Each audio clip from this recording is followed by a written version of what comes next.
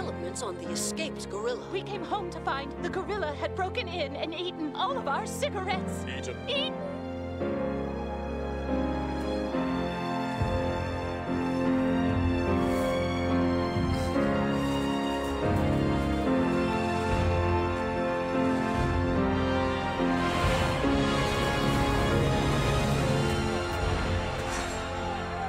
Are you okay, sir? No, there's only one person who can help me. Not what I asked, but whatever.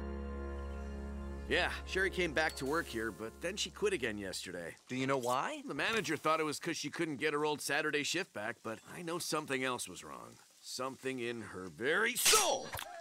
I got no clue where she is now.